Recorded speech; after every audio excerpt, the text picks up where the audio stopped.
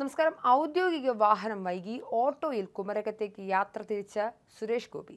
മണാർശാല നാഗരാജ ക്ഷേത്രത്തിൽ പുരസ്കാര സമർപ്പണ ചടങ്ങിനെത്തിയ കേന്ദ്രമന്ത്രി സുരേഷ് ഗോപിയുടെ സുരക്ഷാ ക്രമീകരണങ്ങളിൽ വലിയ വീഴ്ച വന്നതായി ആക്ഷേപം.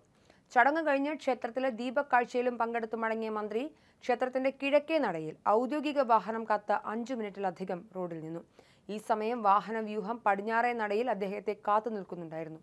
സുരേഷ് ഗോപി അവിടെ കിടന്ന ഓട്ടോയിൽ കയറി കുമരകത്ത് പോകാൻ ആവശ്യപ്പെട്ടതോടെ ഓട്ടോക്കാരൻ പരുങ്ങലിലായി. രണ്ട് കിലോമീറ്ററോളം പിന്നിട്ട് ഹരിപ്പാട് സുബ്രഹ്മണ്യ ക്ഷേത്രത്തിന് സമീപമുള്ള ഹനുമാൻ ക്ഷേത്രത്തിന് മുന്നിലെത്തിയപ്പോഴേക്കും വാഹന വ്യൂഹം കുതിച്ചെത്തി. ഗൺമാൻ ഉൾപ്പെടെയുള്ളവർ പിറകെയുള്ള വാഹനത്തിലാണ് എത്തിയത്.